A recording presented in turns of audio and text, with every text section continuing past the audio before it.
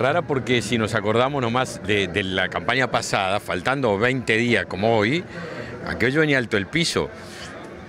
Pero yo creo que tiene una explicación.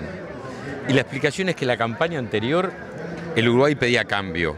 Y el cambio es muy dinámico, muy militante el cambio. Vamos a sacarlo, toda la gente milita mucho. La continuidad, que es lo que yo olfateo, la continuidad es más apacible, más tranquila, no tiene la militancia que, que tiene el cambio. Así que este creo que responde a eso. Creo haber una enorme revolución silenciosa el, el, próximo 27 de octubre en respaldo a la coalición republicana, el presidente Luis Lacalle Pou, aquí en Paysandú con, con la 22 y el Partido Nacional. ¿Y qué pasa con las encuestas? Porque las encuestas no dicen lo mismo. Bueno, depende cómo las mire.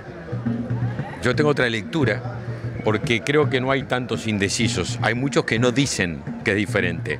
Una cosa es no tener decisión, otra es tenerla y no decirla. Y es, parte de esa revolución silenciosa que noto que se está gestando en Uruguay en respaldo a la coalición y al Partido Nacional. Hemos llevado adelante cinco años con unos desafíos tremendos, ¿no? Creo que ha sido el gobierno de Luis Lacalle Pou y Luis Lacalle Pou el mejor presidente que tuvo el Uruguay del 85 a la fecha, no tengo duda ninguna.